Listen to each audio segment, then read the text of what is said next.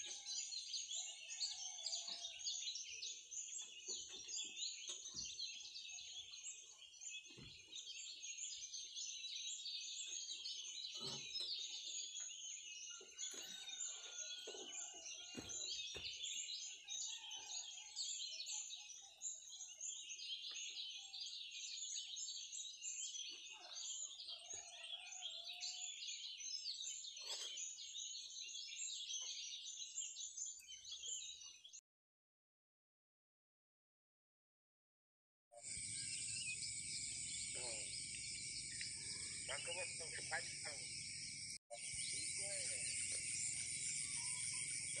Betul-betul lah.